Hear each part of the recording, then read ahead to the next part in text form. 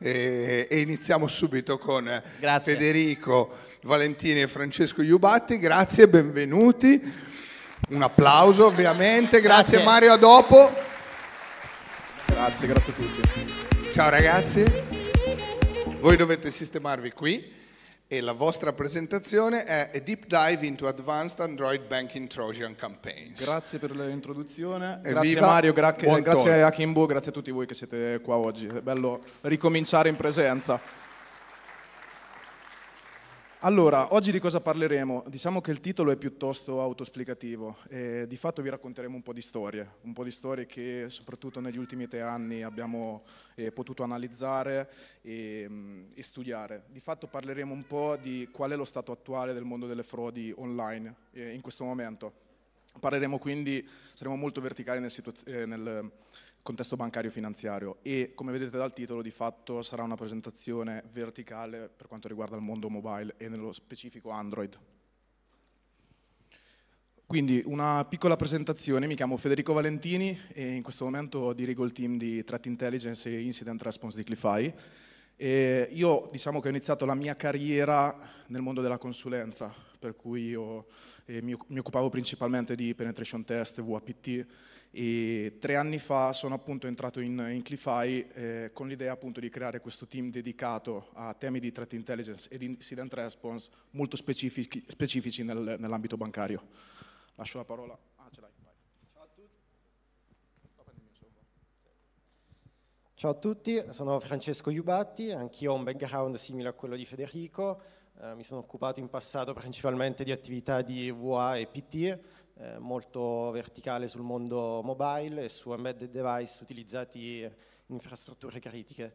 Da circa due anni e mezzo lavoro in Clify, eh, mi occupo anch'io di threat intelligence, in particolare di analisi malware mobile, e dove nell'ultimo anno ho scoperto queste due nuove famiglie di malware, Sharbot e T-Bot, che andremo a vedere più in dettaglio a breve. Grazie Fra.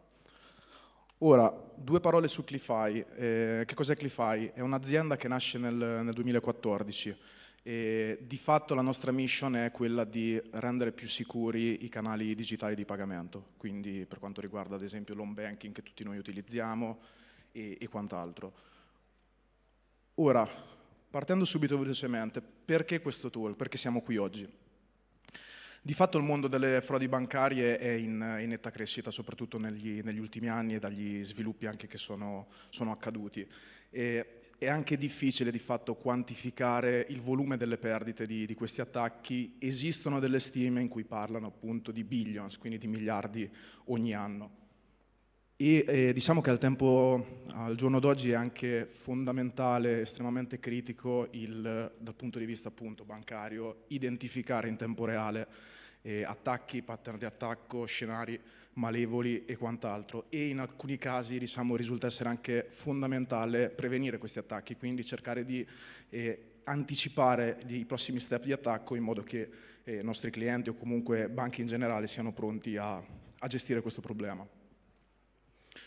Un'altra cosa è che magari per chi è fuori dal mondo banking, prova, ok, per chi è fuori dal mondo bancario sembra di fatto, almeno l'impressione da fuori, che sia un mondo molto chiuso, che non ci sia troppo sharing di informazioni e eh, diciamo una cosa che noi eh, non piace, non vorremmo fare, per cui riteniamo anzi molto interessante anche in occasioni come oggi di sharare con la comunità di InfoSec quelle che sono di fatto alcune analisi che riteniamo ecco, importanti eh, portarvele a voi. Quindi iniziamo a partire. Perché, eh, diciamo, come, come, ho detto all'inizio, c'è una forte evoluzione, una forte crescita di questi, di questi attacchi, anche del volume.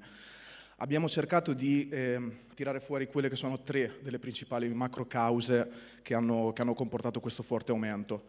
La prima causa, è, come aveva anticipato anche prima Mario durante l'introduzione, eh, veniamo da due anni buoni di pandemia, per cui siamo tutti costretti a stare dentro case, per cui immaginate anche voi che magari persone meno avvezze nel utilizzare magari un, un mobile banking o quant'altro si sono, dovute, si sono trovate di fatto costrette a doverlo utilizzare.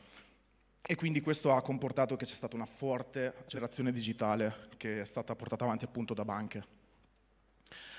Il secondo punto è che in tutto questo ovviamente i canali digitali sono sempre più utilizzati. E pensate anche voi, insomma, quotidianamente immagino che si accede a, a proprio un banking, si effettuano operazioni e, e, quindi di fatto il volume sia magari anche di target esistenti o nuovi target è esploso. Il terzo punto che poi è anche fondamentale riguarda proprio la velocità dei pagamenti al giorno d'oggi risulta essere di fatto tutto molto più veloce, per cui i pagamenti risultano essere anche istantanei. Pensate agli instant payment che oggi possiamo anche effettuare in maniera piuttosto veloce dalla propria applicazione. E questo ha comportato, almeno lato antifrode, dei nuovi problemi da gestire, come dicevo prima, quindi il avere sempre meno tempo nel identificare dei pattern di attacco, cercare una remediation e evitare il disastro.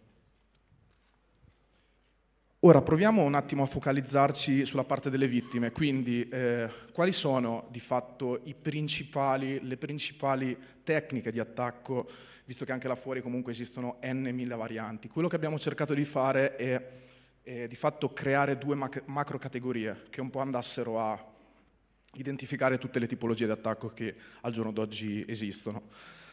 La prima categoria parliamo quindi di account takeover. Immagino che sia uno scenario d'attacco piuttosto insomma, conosciuto all'interno di quest'aula oggi.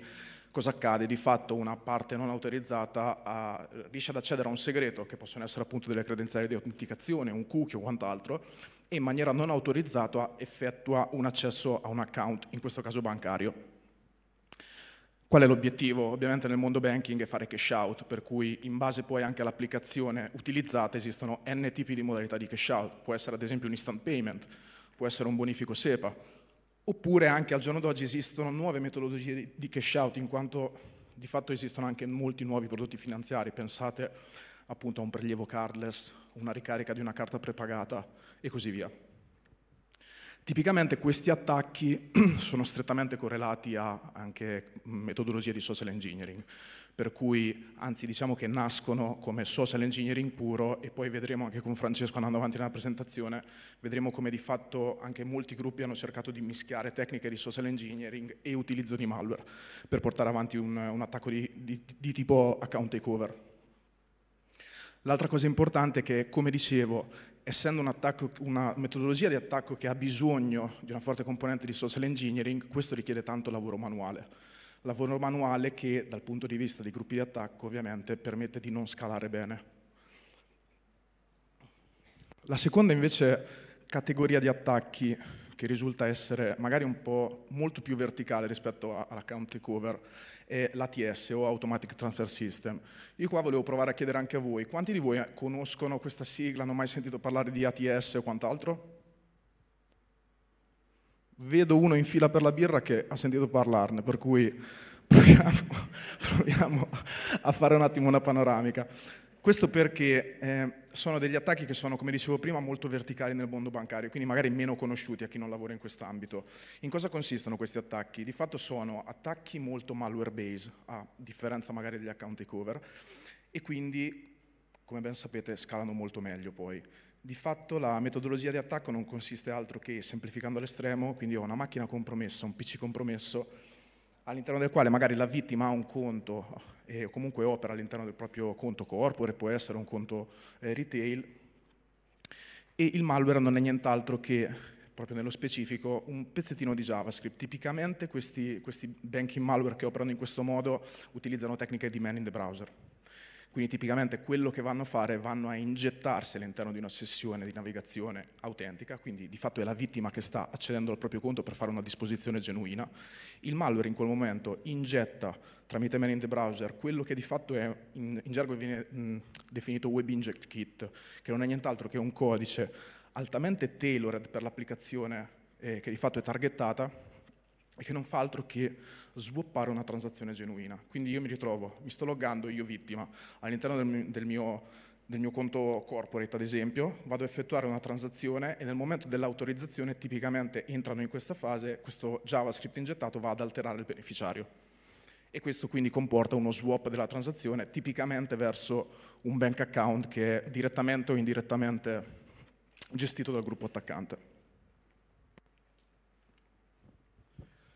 Qui in questa slide ho cercato un po' di visualizzare questi due mondi, quindi vedete appunto al lato mm, a vostra sinistra l'account takeover, per cui metodologie di attacco che come dicevo prima si basano sia su componenti di social engineering che componenti malware. E poi andremo a vedere anche più nello specifico alcuni esempi con Francesco. A parte destra abbiamo tutto il mondo degli ATS, quindi in questo caso attacchi o metodologie di attacco che scalano molto meglio, molto più costose dal punto di vista dell'attore che ci sta dietro e che si basano principalmente appunto su componenti malevole. Andando avanti, qui abbiamo cercato di, eh, di, visualizzare un po' quelli che sono i trend, soprattutto negli ultimi due anni. E qua già iniziamo a fare un, un distinguo su due eh, macro categorie, per cui abbiamo in alto il mondo del corporate banking e in basso il mondo del retail. Questo perché? Perché anche storicamente sia attori che metodologie di attacco sono molto diverse nei due mondi. Per cui abbiamo il mondo corporate, dove storicamente eh, agiscono gruppi che utilizzano appunto un approccio quasi malware based, per cui ovviamente ci sarà la parte di componente social per... Grazie.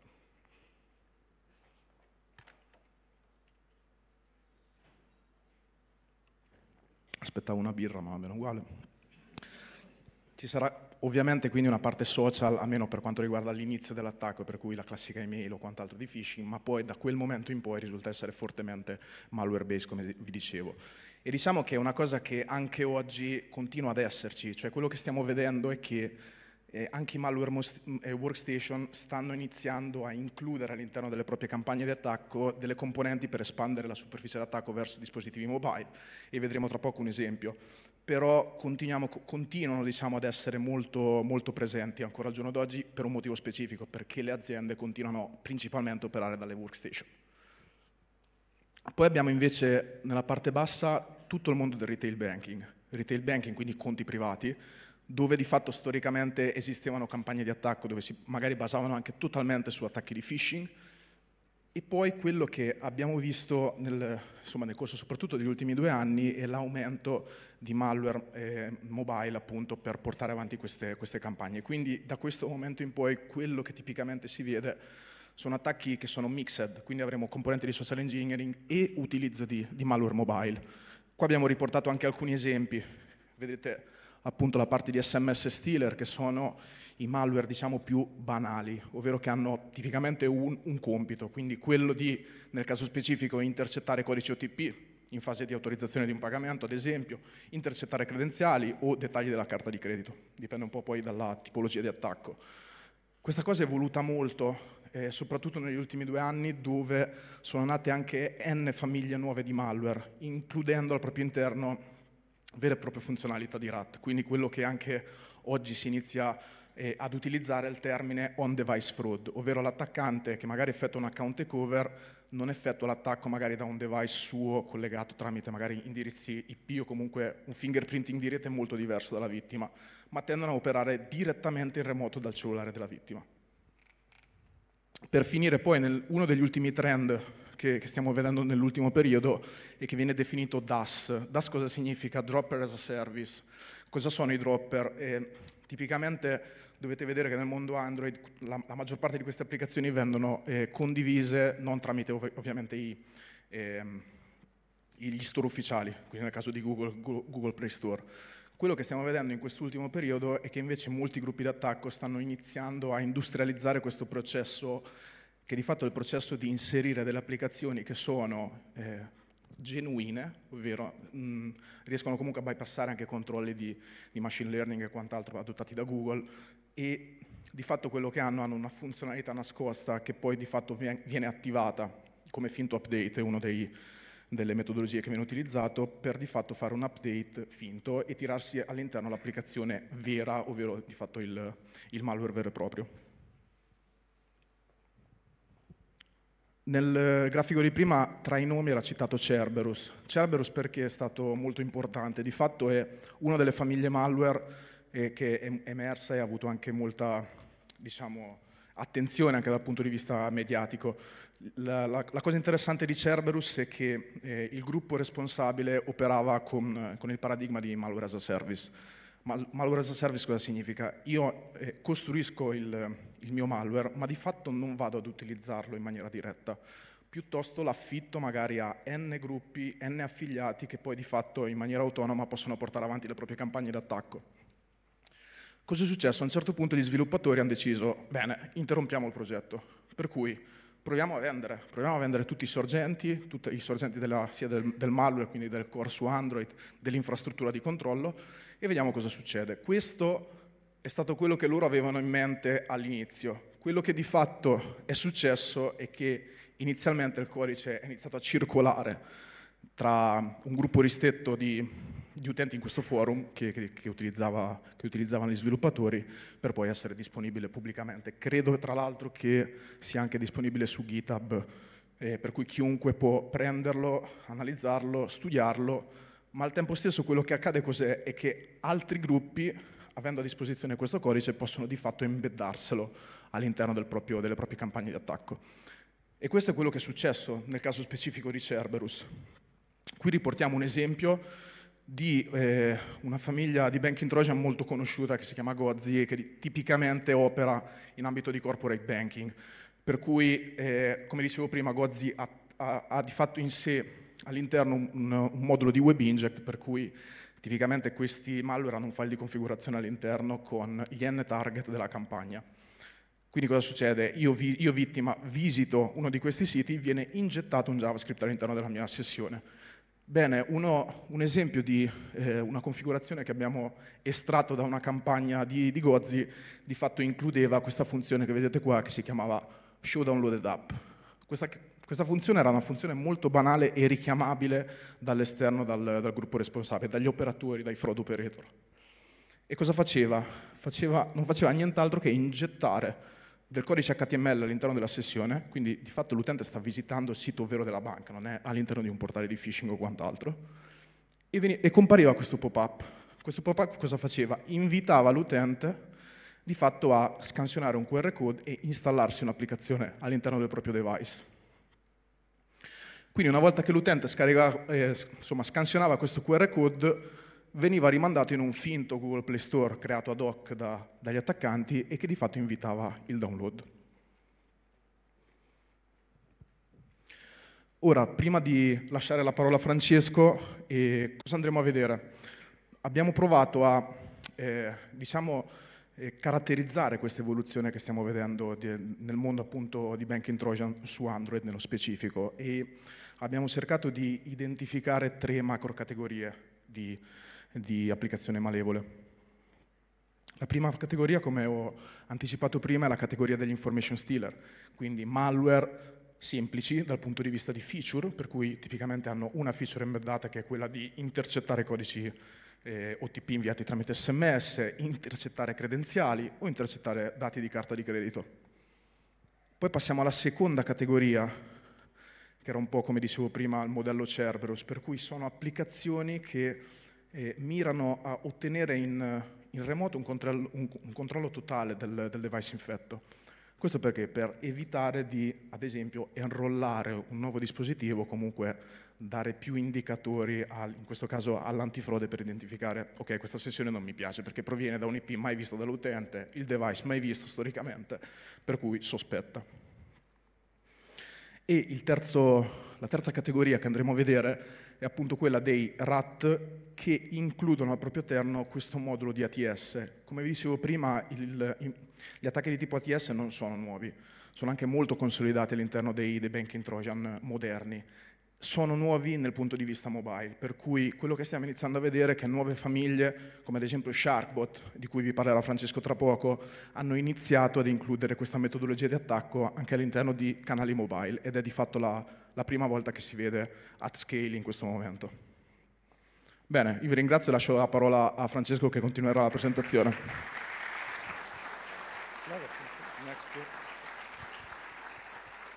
Grazie. Ok, cominciamo a andare un po' in dettaglio su ognuna di queste famiglie. Partiamo dagli infostealer. Solitamente queste applicazioni sono molto uh, banali, dal momento che implementano una singola feature, ma allo stesso tempo non hanno delle eh, metodologie di evasion come offuscation del codice, encryption delle comunicazioni e così via. Tuttavia, anche se sono molto banali come applicazioni, molto spesso, come vedete, non vengono detettati dagli antivirus. Questo perché? Perché solitamente queste applicazioni, dal momento che sono molto facili da costruire, eh, mutano molto velocemente. Oppure utilizzano determinate eh, metodologie come il repackaging, ovvero prendono un'applicazione legittima, alterano il codice, quindi ingettano del codice malevolo, rimpacchettano tutto e distribuiscono questa nuova applicazione. E di conseguenza eh, trovare questo codice malevolo all'interno di un'applicazione può risultare difficile. Quali sono quindi queste informazioni a cui eh, sono interessati gli attaccanti? Come vi ha anticipato Federico, sono sms, carte di credito e le credenziali di login eh, delle banche. Andiamo in dettaglio in ognuna di queste tipologie. SMS Stealer. Solitamente queste applicazioni vengono deliberate tramite metodologie di social engineering, quindi phishing, smishing e così via. Questo perché? Perché la componente umana è fondamentale, dato che questi malware non usano vulnerabilità di Android, non usano zero day, ma cercano di far installare quindi manualmente l'applicazione alla vittima e soprattutto devono eh, puoi accettare permessi come questo, ovvero cambiare la, eh, l'applicazione di default per la gestione degli sms in modo tale che il malware riesca a intercettare questi sms e spararli verso un C2. Quindi queste metodologie di social engineering molto spesso servono anche quindi per persuadere l'utente a installare queste applicazioni. E da qui possiamo vedere alcune tecniche utilizzate eh, molto spesso, come l'utilizzo di icone o nomi di applicazioni trust, di messaggistica, oppure con riferimenti alle banche targeted, oppure a soluzioni antivirus. Un'altra tecnica molto utilizzata è appunto il repackaging, che vi ho già spiegato prima, ma vedremo breve un esempio nel concreto oppure vengono utilizzati proprio quello che si chiama il fake bank operator, ovvero sono eh, i threat actor stessi che chiamano, dopo aver recuperato il numero di cellulare delle vittime, chiamano le vittime e, e fingendosi appunto operatori bancari, eh, sostanzialmente gli chiedono di installare queste applicazioni dopo aver instaurato un certo rapporto di trust con l'utenza. Ovviamente una volta che l'utente va a accettare questi permessi, quindi va a dare eh, al malware la possibilità di intercettare gli sms, potete vedere nella prima immagine che il malware effettua una post request per mandare l'sms verso un pannello di controllo di loro amministrazione. Andiamo a vedere un caso concreto di eh, sms stealer. In questo caso gli attaccanti che cosa hanno fatto? Hanno utilizzato una, un'applicazione legittima, open source di messaggistica, chiamata QKSMS, eh, quindi il codice lo trovate su GitHub perché di fatto è un'applicazione legittima e anche sul Google Play Store trovate l'applicazione. Di fatto quello che hanno fatto gli attaccanti cosa è stato? Scaricare il codice da GitHub, aggiungere delle funzionalità, rimpacchettare tutto e eh, sostanzialmente deliberare queste applicazioni tramite campagne di phishing. Nell'immagine potete vedere in rosso eh, le classi, quindi il codice che hanno imbedato all'interno della, dell'applicazione. Eh, le funzionalità di questo malware erano praticamente due. Uno, ovviamente, quello di intercettare gli sms. L'altra era quello di eh, fare un hide, quindi nascondere tutti gli sms che riceveva la vittima. Questo perché? Immaginate il seguente scenario l'utente sta cercando di eh, loggarsi all'interno del, del, sito della banca, eh, ma la banca gli chiede un two-factor authenticator per eh, proseguire il login, che in teoria dovrebbe essere mandato tramite sms. Di conseguenza, se l'utente non vede ricevere questi sms, ne richiede di nuovi. Ovviamente questi sms in realtà stanno arrivando sul device della vittima, ma vengono nascosti, quindi non vengono mostrate notifiche, vibrazioni o suoni, e vengono in realtà spediti verso il C2 degli attaccanti. Di conseguenza gli attaccanti avranno più codici OTP e più codici PIN che possono utilizzare per confermare più operazioni fraudolenti oppure fare un enrollment di un nuovo device. Un altro scenario uh, che abbiamo studiato qualche anno fa purtroppo era finito sul, sul Google Play Store. Di conseguenza quando questo accade eh, anche utenti un po' più esperti, quindi che sanno riconoscere un sito di phishing, sanno che non devono scaricare eh, un'applicazione da store non ufficiali, eh, rischiano di cadere vittima di queste, di queste, tipologie di frodi. Perché? Perché comunque il malware proviene da una fonte trusted, quindi accettata dall'utente. L'applicazione di fatto era molto banale, era una, una web view, quindi semplicemente mostrava un sito di phishing all'interno di un'applicazione e come vedete l'obiettivo era rubare credenziali, eh, OTP e i sì, dati delle carte di credito. Passiamo infine all'ultima tipologia di infostealer, che sono malware che eh, hanno come obiettivo quello di eh, rubare eh, le credenziali. La tecnica consolidata e che ormai utilizzano praticamente tutti i malware eh, negli ultimi due anni è il cosiddetto overlay attack. Eh, è una tecnica che consiste nel mostrare una pagina clone sopra eh, l'applicazione legittima, ovvero in cosa consiste una volta che l'utente va a installare questo malware, eh, il malware è in grado di capire che l'utente sta cercando di aprire l'applicazione della banca, che è target appunto della, del malware, e durante la fase di apertura dell'applicazione legittima eh, il malware mostra una pagina clone, quindi identica, sopra l'applicazione della banca. Di conseguenza se l'utente poi andrà a inserire le credenziali all'interno di questa pagina clone vengono spedite verso un C2. Ed è molto difficile eh, diciamo, capire che si è sotto attacco overlay perché comunque la fase di sovrapposizione è praticamente contemporanea, quindi difficile da, da notare. Ma di fatto come vengono fatte queste, questi attacchi overlay, cioè come, come sono costruiti?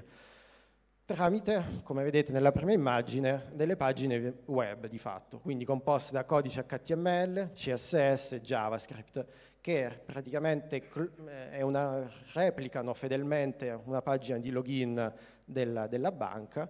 Questo clone viene preso in pasto dal codice del malware, nella seconda immagine, e poi renderizzata nella, durante la fase di attacco.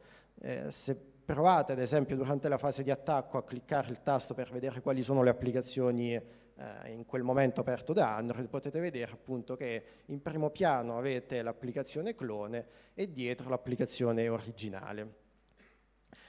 Prima ho detto che questa è la tecnica più consolidata, perché? Di fatto perché è molto scalabile, nel senso che se il malware, necess- il threat actor ha necessità di inserire un nuovo target, quindi una nuova applicazione di banca, eh, non deve modificare il codice del malware, ma gli basta creare una nuova pagina clone e il tutto diciamo, funziona. Passiamo alla seconda tipologia di, di, banking, sono i banking rat. A differenza della categoria precedente, quindi degli infostealer, questi malware sono molto avanzati. Avanzati perché Innanzitutto hanno molte feature, quindi non fanno una sola cosa, ma ne riescono a fare di diverse. E inoltre implementano molte feature di evasion, quindi detectano un emulatore, riescono a detectare se stai utilizzando un debugger, cifrano le comunicazioni tra il C2 e le applicazioni e così via. Qui ho riportato alcuni esempi. In questo caso la, la famiglia di questo malware si chiama Alien, che è un successore di Cerberus, di cui vi ha già parlato Federico prima, e nell'immagine a sinistra potete vedere diciamo, la lista di eh, sostanzialmente comandi che il, il, malware riesce a gestire, come rimuovere applicazioni, quindi il malware è in grado di detectare se all'interno del, del, del device infetto è presente una, un antivirus e rimuoverlo, oppure è in grado di rimuovere se stesso nel caso in cui capisce che è dentro una sandbox, oppure fare record dell'audio e così via. Qui ho sottolineato una feature interessante, ovvero la possibilità di rubare i codici del Google Authenticator. Quindi anche se avete, diciamo, non utilizzate gli SMS come Two-Factor Authenticator, ma un'applicazione esterna, il malware è in grado lo stesso di aprire, leggere i codici e utilizzarlo a suo piacimento. Un altro esempio è T-Bot, un'altra famiglia piuttosto nota, eh, un malware molto potente che come potete vedere è in grado di recuperare moltissime informazioni dal device eh, infetto, come il livello di batteria, la country, eh, il numero di cellulare, eh, se lo schermo è attivo oppure no, o se è riuscito a prendersi determinati permessi. Ovviamente queste informazioni, come vedete, vengono poi inviate a un C2. Oppure, come vi dicevo, questi malware adottano delle tecniche di evasion. Sharbot, ad esempio, utilizza un DGA, un Domain Generation Algorithm, che sostanzialmente serve al malware per essere resiliente ad azioni di takedown, cioè ovvero se questi malware devono sempre comunicare ovviamente con un C2, in modo tale che eh, i threat actor gli danno istruzioni su cosa fare in un determinato momento ma il malware allo stesso tempo deve inviare delle informazioni all'attaccante per sapere cosa sta succedendo sul device della vittima. Quindi se autorità buttano giù il dominio, quindi il server del malware, comunque il malware diciamo che muore lì. Tramite questa feature il malware sa precisamente che può contattare una decina di domini, quindi anche se vengono buttati giù due server non succede niente e inoltre questi domini vengono creati, eh, nel caso di Sharbot, settimanalmente, quindi 5-6 domini ogni settimana vengono creati in modo tale da essere resiliente a qualsiasi azione di takedown. Un altro esempio usato praticamente da quasi tutti i malware, in questo caso ho riportato una famiglia di nome Oscorp, eh, piuttosto recente dell'anno scorso, dove potete vedere che il codice è tutto offuscato, quindi le stringhe vengono eh, cifrate, vengono utilizzati diversi algoritmi come RC4, AS e così via, e anche le comunicazioni in questo caso vengono cifrate. In alcuni casi vengono utilizzati anche algoritmi eh, asimmetrici o simmetrici. Ma di fatto come fanno questi malware a ottenere questo pieno controllo del device? quindi ottenere tutte queste informazioni o recuperare ad esempio come i codici eh, del Google Authenticator. Anche in questo caso, come la categoria precedente, non utilizza vulnerabilità, ma di fatto utilizza delle feature proprio di Android, in realtà ne abusa di queste feature, che sono gli accessibility service. Questi accessibility service, per chi non li conosce, sono una feature di Android messa a disposizione principalmente per uh, utenti con disabilità. Quindi tramite queste uh, feature anche utenti con disabilità riescono a interagire col device. Quello che hanno fatto gli attaccanti è abusarne e, come vedete dall'immagine, la prima cosa che eh, il malware fa quando viene installato è mostrare un pop-up in modo ripetuto dove chiede all'utente di accettare questi permessi. Ovviamente una volta che vengono accettati vedete in basso uh, quello che il malware riuscirà a fare, quindi osservare le azioni fatte dall'utente e ritrovare contenuto all'interno delle applicazioni, qualsiasi applicazione, osservare il testo scritto, quindi anche in alcuni casi password o comunque dati personali come carte di credito e infine effettuare delle gesture, quindi anche click, swipe. Quindi diciamo l'obiettivo di questi malware è avere un pieno uh, controllo del device da remoto, proprio per, le, eh, per, effettuare frodi, come vi ha detto Federico, uh, a distanza, ma soprattutto dal device della vittima, in modo tale da essere meno detectati dalle banche. Ovviamente ogni famiglia di malware ha eh, implementato, affiancato agli accessibility service anche altri protocolli o altre metodologie per avere una piena persistenza. In questo caso Alien utilizzava TeamViewer, quindi un tool noto, eh, legittimo di fatto, ma loro lo utilizzavano per avere una persistenza maggiore all'interno del device infetto oppure T-Bot che si è implementato diciamo, un suo algoritmo dove sostanzialmente andava a fare screenshot eh, ogni, dopo ogni pochi secondi in modo tale da monitorare quello che l'utente faceva e recuperare informazioni interessanti come il balance degli account e così via. Oppure Oscorp che utilizza un protocollo noto come Web, WebRTC, utilizzato ad esempio anche da Google in Stadia, per avere sostanzialmente un, uno streaming continuo e vedere quello che l'utente faceva. Proprio riguardo Oscorp abbiamo riportato un caso che abbiamo analizzato di frode dove tutto è partito tramite un, un messaggio contenente un, un, link di phishing dove all'utente veniva richiesto di inserire credenziali bancari e il numero di cellulare. L'utente purtroppo cliccò questo link, inserì questi dati e dopo qualche minuto l'operatore, quindi l'attaccante, chiamò eh, la vittima eh, fingendosi dell'antifrode della banca e per motivi di sicurezza gli aveva detto di installare una nuova applicazione eh, che sarebbe servito appunto per pulire il cellulare da malware e così via.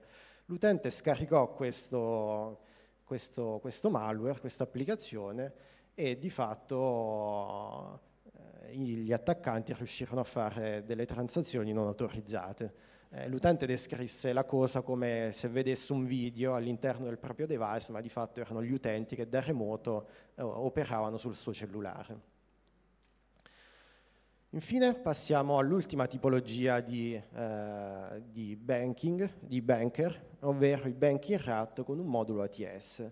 Eh, di fatto sono applicazioni molto avanzate, come quella dei banking RAT che abbiamo appena visto, però hanno di fatto un uh, modulo aggiuntivo, ovvero riescono a fare ATS, che vi ha spiegato Federico, quindi uno swap dell'IBAN durante la fase di transazione. Il malware che abbiamo scoperto uh, di recente, quindi a fine 2021, che abbiamo chiamato Sharbot, è in grado di fare proprio questo, ovvero quando l'utente va a fare una transazione, il malware agisce, riesce a intercettare questa porzione eh, di codice, quindi di eh, inserimento del, dell'IBAN e viene swappato con un IBAN eh, mulo, quindi del, del, del threat actor. Di fatto questi malware, a differenza della categoria precedente, sono molto custom, questo perché comunque ogni fase di transazione di un'applicazione bancaria è diversa dall'altro, quindi necessitano un maggiore effort per creare questi malware. Tuttavia il beneficio è quello di riuscire a effettuare i frodi in modo quasi del tutto automatico, a differenza dei banking rat dove devono stare proprio gli operatori live a fare queste transazioni.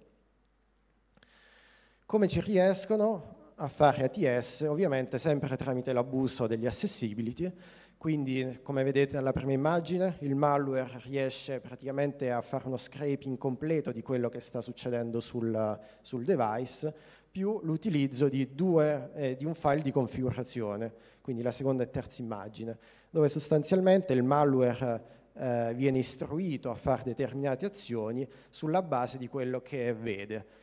Quindi ad esempio nel caso di, eh, del comando inject c'è una lista di applicazioni in cui se sul device infetto è presente viene attivata la, eh, ad esempio la, la funzionalità di eh, attacco overlay. Nel caso di Sniffer, stessa cosa, c'è una lista di applicazioni in cui viene attivato le funzionalità di keylogging, oppure nel caso special ci sono delle vere e proprie azioni che il malware deve fare, come ad esempio l'azione di click, se incontra ad esempio un ID che si chiama fingerprint int o cancel button. Con la stessa logica, se incontra un campo chiamato IBAN, il malware è in grado di capire che lì andrà a finire un IBAN e riesce a fare lo swap durante la transazione. Un'altra tecnica piuttosto utilizzata da questi malware è l'alterazione dei valori di copy and paste. Quindi ad esempio si sa che l'utente molte volte copia e incolla l'IBAN perché è una stringa molto lunga oppure il wallet di, una, di un'applicazione di criptovalute e quindi durante la fase di incolla lui swappa il valore, quindi cambia il valore dell'IBAN. Purtroppo anche queste applicazioni eh, così avanzate ogni tanto riescono a finire sul Google Play Store. Questo è un esempio di applicazione che è stata scaricata oltre 5.000 volte e di fatto era Sharbot.